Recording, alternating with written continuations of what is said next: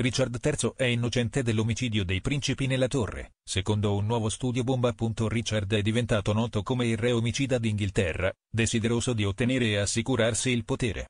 Era così affamato di potere che è stato descritto come disposto a uccidere chiunque si fosse messo sulla sua strada, anche i suoi stessi nipoti.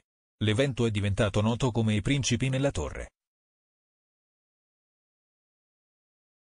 L'apparente assassinio nel 1480 del deposto re Edoardo V e Riccardo di Shrewsbury, duca di York. Questi due fratelli erano gli unici figli di re Edoardo IV ed Elizabeth Woodville. Quando avevano rispettivamente 12 e 9 anni, furono alloggiati nella torre di Londra dallo zio paterno e onnipotente reggente il duca di Gloucester, che in seguito divenne re Riccardo III.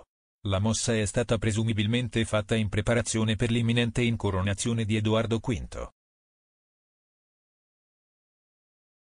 Ma, prima che il giovane re potesse essere incoronato, lui e suo fratello furono dichiarati illegittimi e i ragazzi non furono mai più visti. Fino ad ora, non era chiaro cosa fosse successo esattamente ai ragazzi, con la teoria mainstream che suggeriva che fossero stati uccisi per ordine di Riccardo III. Ma, secondo i ricercatori, la reputazione di Richard è stata ingiustamente diffamata poiché il monarca, in effetti, non ha ucciso i suoi nipoti. La squadra, guidata da Philippa Lanley, che ha scoperto i resti del re sotto un parcheggio a Leicester, afferma che il principe Edoardo più anziano potrebbe non essere stato assassinato ma è stato invece autorizzato a vivere altrove sotto falso nome. Hanno esaminato attentamente una scia di documenti che li hanno portati in un villaggio nel Devon dove sono stati trovati simboli degli York.